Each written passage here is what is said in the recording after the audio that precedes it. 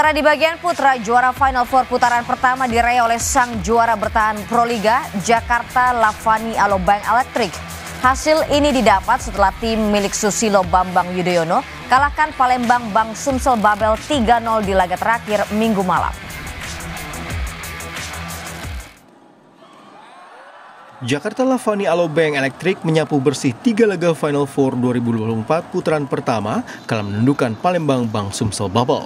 Pertandingan berjalan seru dan menarik, namun Lavani mampu tampil dominan di set pertama.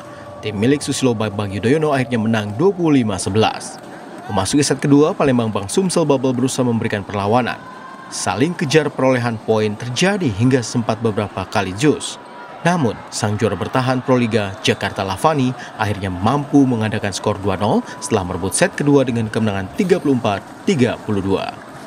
Di set ketiga, Jakarta Lavani yang mendapat dukungan langsung dari pemiliknya Susilo Bambang Yudhoyono tampil agresif. Akhirnya Lavani mampu menutup laga di set ini dengan kemenangan 25-17 sekaligus menahbiskan diri menjadi juara Final Four putaran pertama. Kita sudah ketemu tiga kali, pertemuan pertama kita menang, kedua kita kalah. Ya tentunya masing-masing tim sudah mengevaluasi apa lemahnya Bang Sumsel, apa lemahnya uh, Lavani. Di pertandingan malam hari ini memang apa yang kita instruksikan bahwa Lavani strong di servis dan bagus di bola pertama itu terlihat di pada set satu dan dua. Jadi dengan selisih poin yang sangat jauh di sistem dari poin, ini semua dampak daripada servis kita bagus. Empat tim putra dan putri akan kembali bersaing untuk mendapatkan tiket ke babak Grand Final di Semarang pada pekan depan.